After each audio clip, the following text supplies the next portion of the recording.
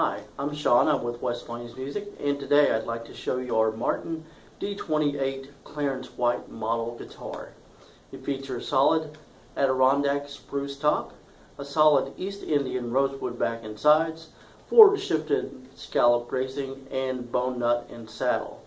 If anyone out there is a fan of Tony Rice, you'll know what a great tone these guitars have.